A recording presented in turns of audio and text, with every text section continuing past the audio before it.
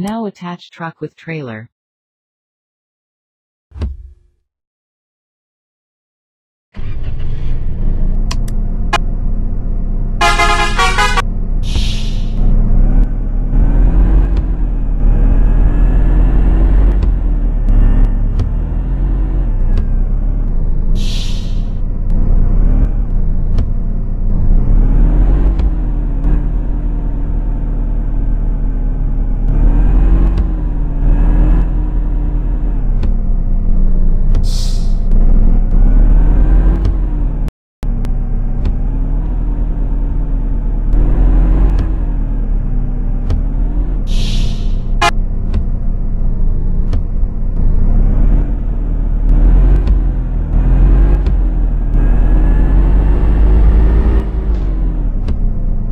Follow map to reach the destination. Hi everyone,